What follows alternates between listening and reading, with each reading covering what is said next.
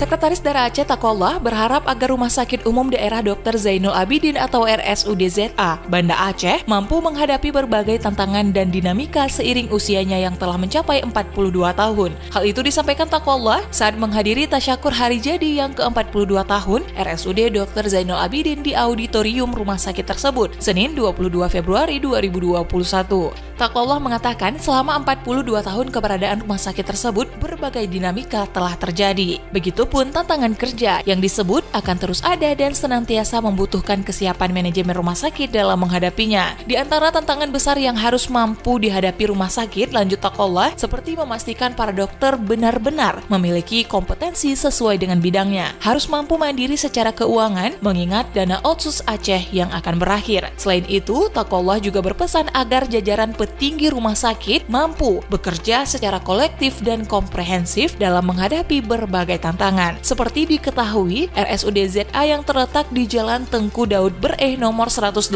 Banda Aceh adalah salah satu instansi pelayanan publik pemerintah Aceh sebagai rujukan utama di Aceh yang memberikan pelayanan kesehatan langsung kepada masyarakat, khususnya pelayanan rawat jalan maupun rawat inap. Rumah sakit ini berdiri pada tanggal 22 Februari 1979 atas dasar keputusan Menteri Kesehatan Republik Indonesia nomor 551 garing Menkes garing SK garing 2F garing 1979 yang menetapkan RSU Dr. Zainul Abidin sebagai rumah sakit kelas C. Selanjutnya dengan SK Gubernur Daerah Istimewa Aceh nomor 445 garing 173 garing 1979 tanggal 7 Mei 1979 maka Rumah Sakit Umum Dr. Zainul Abidin ditetapkan sebagai Rumah Sakit Umum Daerah Dr. Zainul Abidin.